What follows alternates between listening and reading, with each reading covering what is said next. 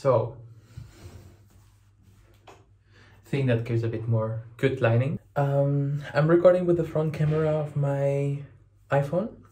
I think it is a very bad choice, but I cannot deal with not seeing myself when I record. And I normally record with my two cameras. I have the Canon 600D and the Canon 750D, I think. And both they have the flip screen so I can see how it's looking. But today I want to use the camera because I'm leaving the house and I'm taking you with me. So I'm on my process of getting ready because I'm going to choose a grand piano for a recording that I have next week. It's about a Haydn sonata and it's going to be available on my YouTube channel and I'm recording a bit the behind the scenes and the whole process. So yeah, I'm a bit nervous, but I'm very, very, very, very excited. And I'll try to record as much as I can of the process of me choosing a piano. But I'll be very focused on just playing and just working and not so much on recording, but I'll try my best. So now I'm gonna get ready. So let's go!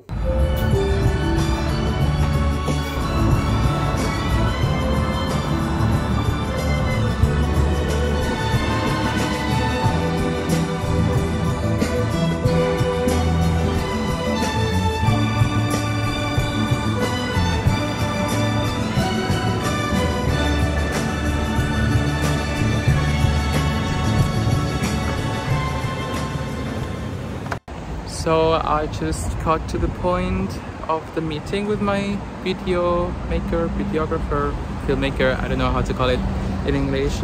And I'm just too early. So right now I have to wait with the whole sunny Vienna. And I'll stop recording myself because people are looking at me and I really cannot deal with that very well.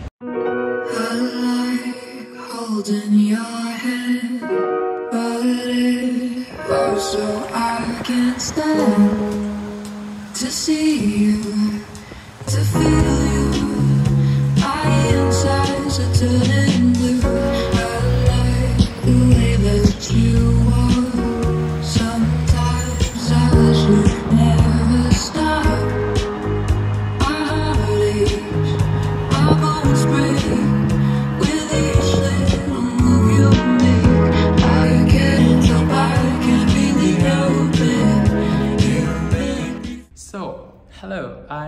On the showroom of the Klavierhaus here in Vienna. And how I choose a piano? Today I have the option to choose two pianos, which is also very good privilege already. And I choose, in this case, in two things. One, the type of the piano.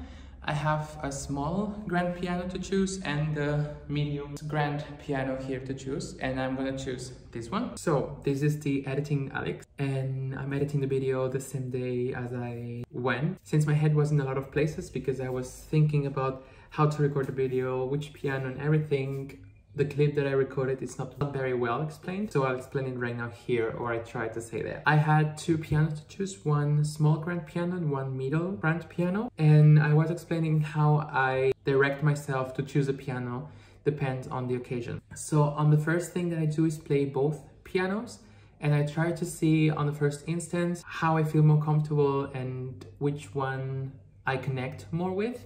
And after that, I try to find how I feel the contact of the keys, how I feel the mechanics, how I feel the sound. In this case, the medium grand piano had a very bright sound, which I like it for Haydn, which I like it for the idea that I have in my head. So it was not so difficult to choose.